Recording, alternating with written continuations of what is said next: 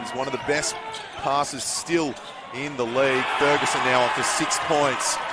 They need to get a hold of him. We've got a couple amazing players in this league as far as specific stats between Jared Prue and Joel Wagner as Clarke finds some space on one end, a veteran point guard on the other, an up-and-comer, and Isaac Katorna snacked away there by Thomas.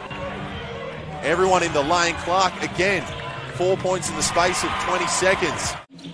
Switch pass to the other side. Leary through to Clarke.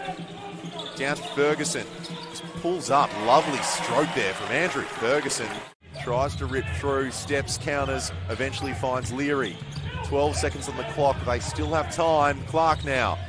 Finally gets one to drop. And holds up a fist to his bench. To the corner. Jackson, a lot of pressure defensively. Clarke looking for contact.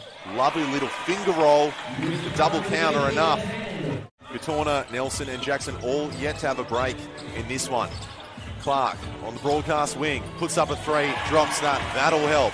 Left in the half. Mitch Clarke calls for the screen from Ferguson.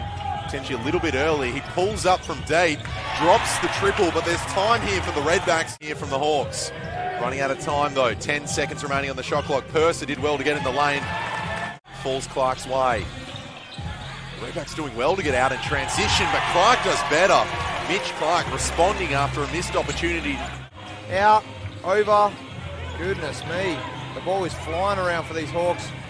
Mitch Clarke hits a three. Bang. is building with every possession. The Redbacks, quick trigger, working against them recently. As Clarke goes at the bucket. A timely three for the Redbacks to trim it to 11. The bank is open on a, on a Saturday night as, as Ferguson goes back to back and hits another three. Ferguson eventually pops. He's just hit that three. It was crisp as he dishes to Clarke. Is it another for Ferguson? He's Oh. feeling it, the big man.